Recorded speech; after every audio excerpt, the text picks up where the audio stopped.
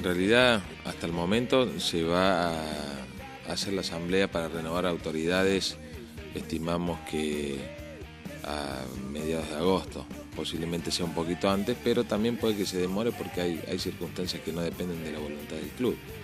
Eh, elecciones hay cuando hay varias listas, eh, renovación de autoridades es cuando hay una sola lista, que yo creo que es lo que va a ocurrir. Ojalá algún día en Alumni haya elecciones, ello significaría que hay mucha gente dispuesta a trabajar en el club.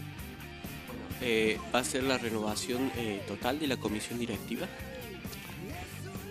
Mira, eh, la comisión directiva actual eh, ha manifestado que, ya hace un paso al costado, que no quiere estar más en la conducción del club, que se va a quedar solamente a cumplimentar esos trámites y se ha armado un grupo hace un tiempo, la unidad de gestión que en principio seguiría hasta tanto se elija una nueva comisión directiva.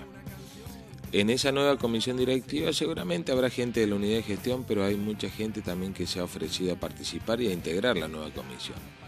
Eh, veremos qué es lo que sucede en ese momento. Yo creo que siempre Alumni ha conseguido gente que lo lleve adelante, eh, en buenos momentos y en malos momentos. Entonces estimo que eh, es una circunstancia esta que va a permitir que gente que en algún momento pasó por el club se reincorpore y algunos que se han incorporado hace muy poco sigan trabajando todos por el bien del club. Puede eh, presumir que por su labor, por el trabajo que está llevando ahora a través de, la unidad esta de gestión, eh, estaría también al frente de, esta nueva comisión. Mira, un poco eh, la idea de quienes estamos en la unidad de gestión es tratar de convocar a gente que pueda haber estado en el club o que no haya estado en el club, que se incorpore como gente nueva, pero tratar de traer sangre, ideas y oxígeno nuevo distinto a los dos grupos también, es decir, distinto a la unidad de gestión y distinto a la comisión directiva. Eh, estamos ya en contacto con algunos ex dirigentes que se han ofrecido a colaborar y a participar.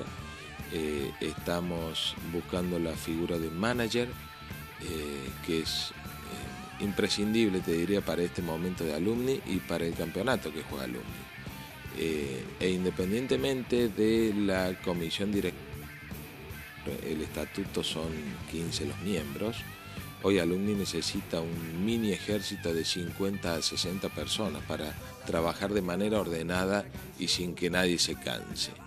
Hoy alumni tiene que atender un predio de 6 hectáreas con tres canchas de fútbol, con vestuarios, es decir, eso lleva tiempo, eh, a veces se rompe la máquina que corta el pasto, a veces se rompe la bomba, entonces requiere eh, de tiempo. Y ese predio necesita por lo menos de 5 o 6 personas que estén a su cargo.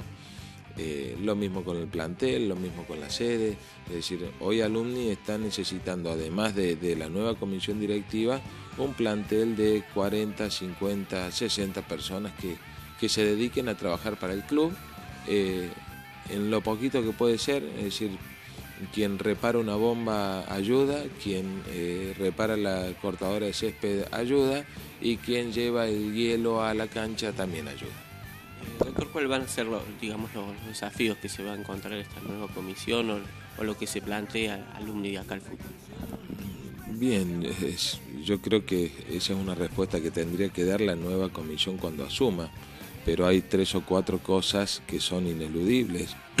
el armar el plantel para eh, enfrentar este torneo argentino A 2012-2013. Eh, creo que hay que volver a darle vida a la sede del club alumni. Eh, hay que terminar algunas tareas en el predio, los dormitorios para poder concentrar allí, los dormitorios para poder atraer a los jóvenes de la zona a hacer prueba y, y que el día de mañana alumni tenga una base de jugadores propios. Eh, hay que concretar la posibilidad de dos pases internacionales de jugadores que tiene el club. Es decir, hay, hay muchas cosas para hacer de manera, o, son esas las cosas que hay que hacer, te diré, de manera obligatoria. Eh, después surgirá de la comisión directiva las nuevas ideas y los nuevos proyectos.